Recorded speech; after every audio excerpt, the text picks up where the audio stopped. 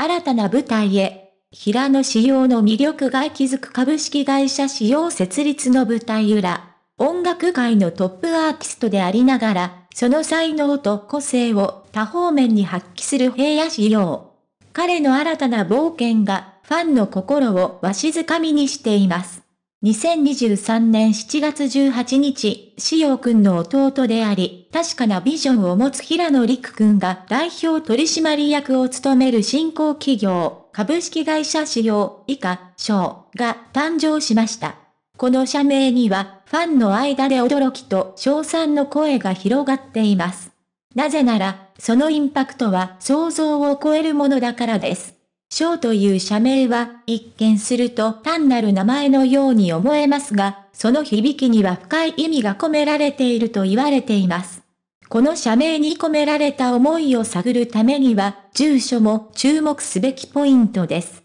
驚くことに、章の所在地は、先に設立された別の会社と同じであり、その会社は従前にも平野陸くんの兄である平野志陽の活動拠点と一致しています。この偶然の一致が一部のファンの間で平野将軍が関わっているのではないかという噂を巻き起こしました。書ってまさか兄弟のプロジェクトなのかも平野将軍の意向が込められているのかもしれないといった予想が SNS へで瞬く間に広がりました。その結果、ショーの存在はファンの間で話題沸騰となり、メディアでも大きく取り上げられるほどの注目度を獲得しました。ショーの社名に対するファンの反応は、ただ一重に驚きや関心だけではありません。社名のインパクトには、すごくショーのキャラクターに合っていて、面白い名前だけでその存在感が伝わってくる、といった賞賛が寄せられています。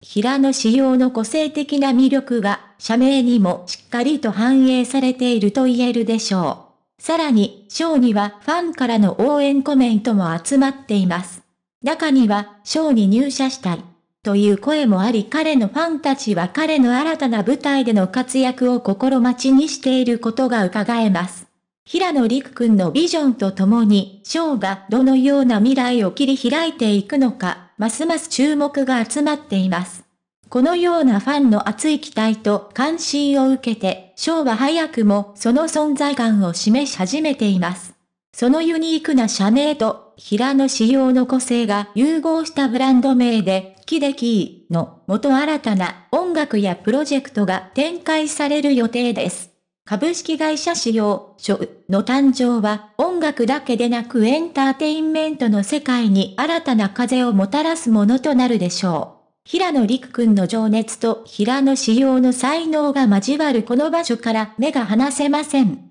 ファンの期待が高まる中、ショーがどのような未来を切り開いていくのか、これからの展開がますます楽しみです。